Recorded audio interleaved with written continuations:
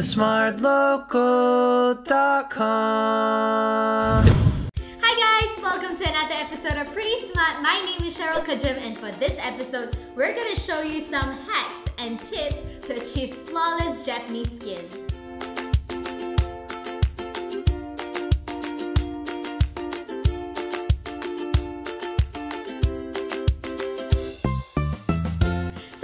Japanese and Korean women have such beautiful, radiating skin. They have beautiful weather in their country, very healthy diet, very good sleeping patterns as well. And for us Singaporeans, it's a whole different case. We have to work extra hard to really achieve that flawless Japanese skin. So we're gonna demonstrate some tips and hacks on how to achieve that natural, glowy look by using some of the Kose products and let's go! So the first step is double cleansing and what we should do is to cleanse our face with the oil and then wash it off with a foam. And I know all of us are not very hardworking. Some of you might be the kind that cleanse your face with the oil and then you don't wash it off with the soap. So one of the benefits of using cleansing oil is that it will melt off your makeup off your face way faster and also the cleansing foam doesn't strip off the moisture while washing your face but it retains the required moisture on your face.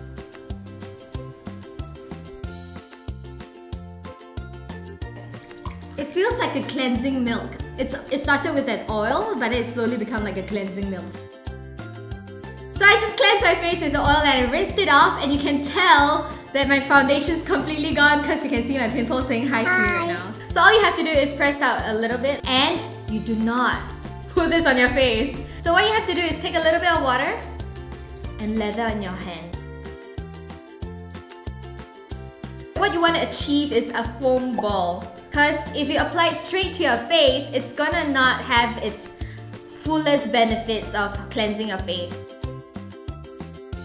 It reminds me of like when you have coffee and then they have the foam on top.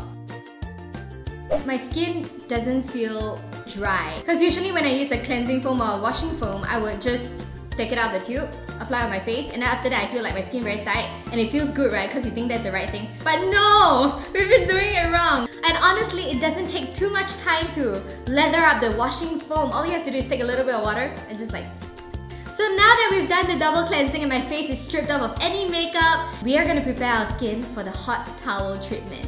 All you need is a face towel and also a pail of warm water.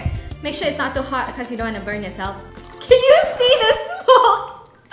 This is quite hot, leh. So the hot towel treatment is a cheaper option as compared to a facial steamer. It's supposed to open up the pores in your face to prepare your face for any types of mask treatment. So all you have to do is place the warm towel over your face for 30 seconds.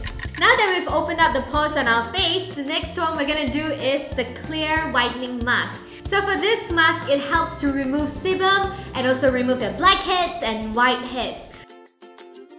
So this mask is great for guys and girls. You want to apply a relatively generous amount, but not too much as it will take very long to dry up. And the right way to peel off a mask off your face is to start from the bottom and then from the outside to the inside.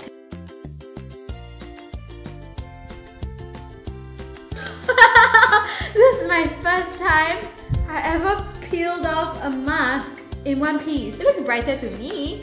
And it has pulled out stuff from my forehead that I never knew there was stuff on it. It doesn't feel dry at all. It actually feels quite bouncy. So the next one we're gonna apply on our face after washing and cleansing and everything is the lotion.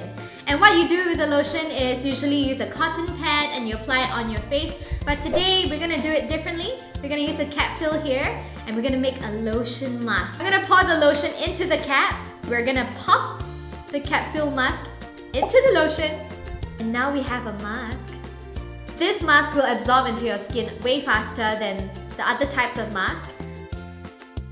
If you leave the mask on for 20 minutes, the mask itself will absorb the moisture from your face back to the mask. So leave it for 3 to 5 minutes and we're good. And also, whatever remaining you have in your mask, treat your neck to some goodness too. So the last one we're gonna do today is the facial massage and we got this from Miniso and you have to massage your face ladies because you need to improve the blood circulation to your face. Honestly, you can do it at home while watching TV. If you don't have a tool, you have your fingers. And here with me I have this product from Kose and it's a herbal gel and this is a 3-in-1. So we're gonna pick up a cherry size amount of the herbal gel it's really relaxing. It doesn't feel like it's clogging up my pores. So the next thing we're gonna do is massage our face. The Japanese women, they do this a lot. So step one is to massage your forehead upwards. So the next one we're gonna do is massage around our eye and you want to use your ring finger because that's the one that's not the strongest. And also this helps to reduce puffiness and also prevent dark circles.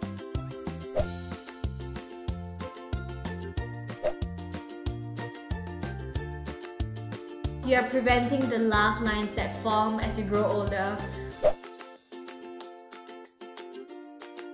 And we're done! And it was so fast, that took less than 2 minutes. And you only have to do this max twice a week. If you're using this as a moisturizer, use a little bit lesser so it's not so dense on your skin. So if you're using it like a sleeping mask, you do not have to wash it off. See all these products on my hand? I'm gonna like use it as a moisturizer for my elbows